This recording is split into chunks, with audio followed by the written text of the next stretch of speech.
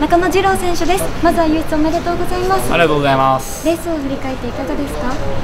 いやちょっとスタートも 放っちゃってターンもミスったなと思ったんですけどエンジンがそれを補ってくれました。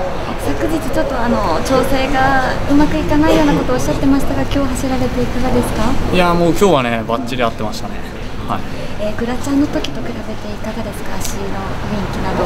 えっ、ー、とねグリップなんかは今今日の方がいいですね。はい、はい、他にまだ気になる箇所とかありますか？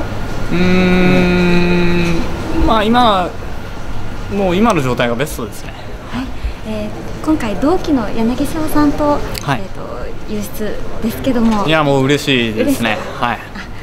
何かお話とかされましたか？えっ、ー、とまだ話してないんですけどはい、はい、えー、明日外枠になるんですけどもいかがでしょうか？